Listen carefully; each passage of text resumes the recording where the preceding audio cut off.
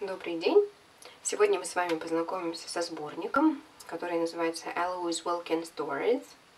Данный сборник небольшого формата, он около 20 сантиметров в высоту.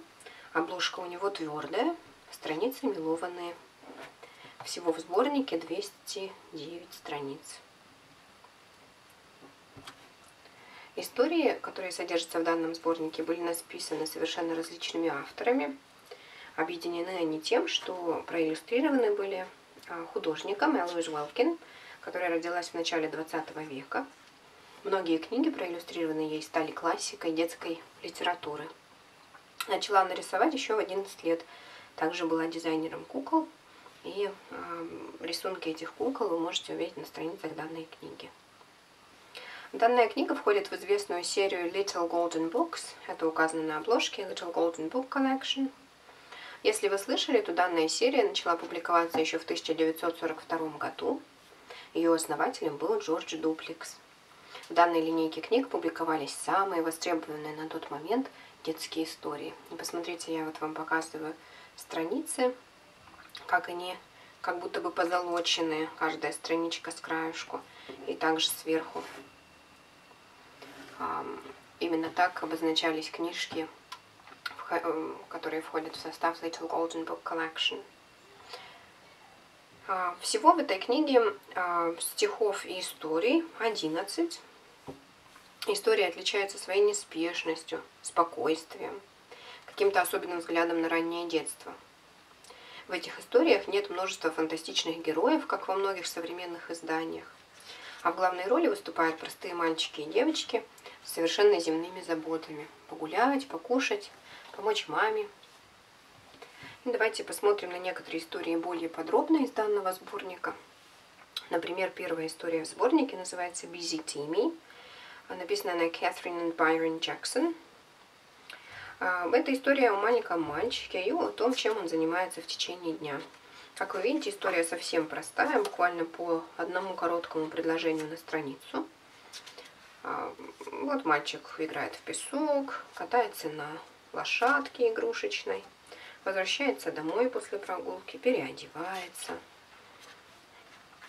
а, принимает ванну, собирается кушать. Вот он кушает их, его ужин и ложится спать. А, все слова из этой истории, они очень жизненные, можно использовать а, каждый день со своим малышом. Следующая история в данном сборнике называется Guess Who Lives Here. Это история загадка. Очень интересно она построена. Вообще история рассказывает о людях, живущих вот в этом доме. И каким образом она построена. На одной страничке вам дается описание. Например, это тот, кто живет в этом доме. Он носит зеленый комбинезон, кофту в полосочку, велосипед и любит строить из кубиков. Угадай, кто это? И на следующей странице вам дается ответ. Например, это мальчик Терри.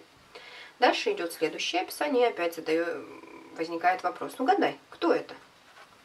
И на следующей странице оказывается, что это мама Терри. Вся история построена именно таким образом. Папа Терри, затем маленькая сестренка, даже об их собачке говорится, об их домашних питомцах, о мышке, которая живет в подвале их дома. Очень интересно познакомиться с такой историей со своим ребенком. Можно потом, например, читать описание, саму загадку, а ребенок будет вспоминать, о чем идет речь. Также говорится о дождике, о солнышке. Лексика тоже очень интересная, подойдет деткам как с начальным уровнем языка, так и дети с уровнем уже выше смогут найти для себя интересные слова и выражения.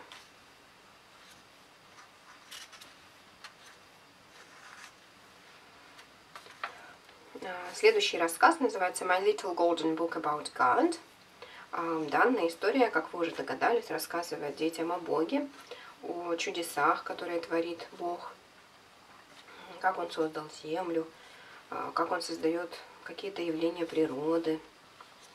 А, очень интересно отметить то, что в современных изданиях редко, крайне редко включены истории религиозной направленности – а здесь очень простыми словами рассказывается детям о Боге. И, на мой взгляд, очень э, здорово познакомиться с такой историей со своим ребенком. Следующая история называется Wonders of Nature, а, чудеса природы. Рассказывает она о различных природных явлениях, о растениях, о птичках, о животных.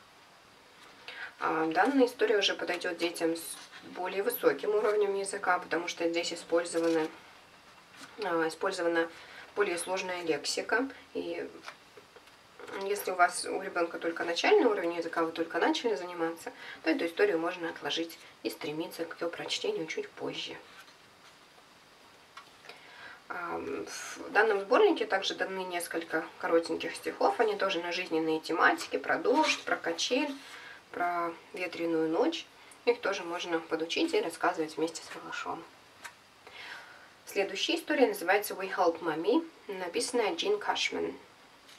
А, примечательно, что эта история а, немного отсылает нас к реалиям жизни предыдущих поколения, когда жена, мама была ответственна за всю работу по дому.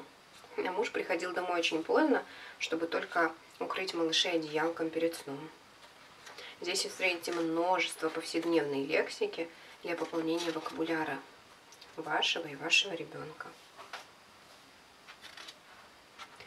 Следующие три истории в данном сборнике, они объединены э, тем, что их написал один автор. Это сестра иллюстратора, зовут ее Эстер Уэлкин. Э, это три истории о малышах, две из которых рифмованные.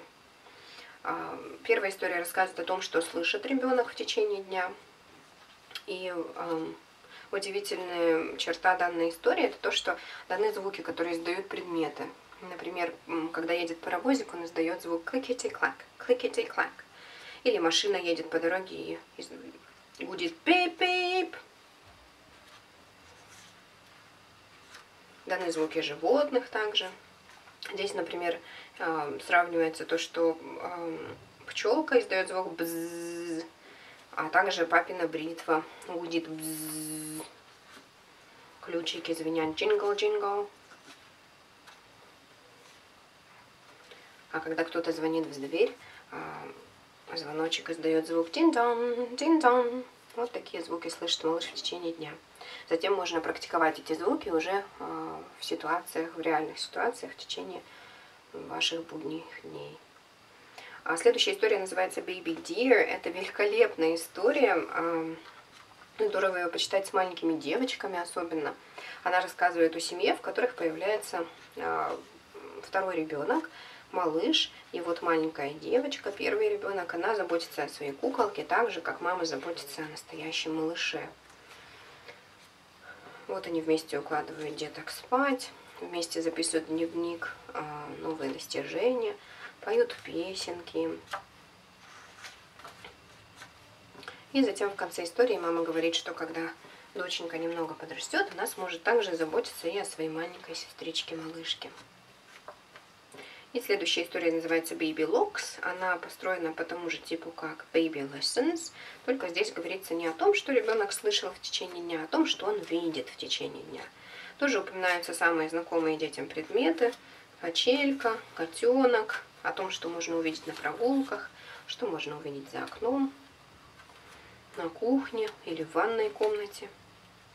И в конце истории э, рассказывается о том, что можно увидеть в спальне. Еще парочка стишков небольших. Тут про закаты, про маленького мальчика. Вообще, как вы уже заметили, иллюстрации Эллоуиз Уилкин, они очень мягкие, размеренные, как будто бы неторопливые. Такие милые иллюстрации зачастую, зачастую нравятся девочкам.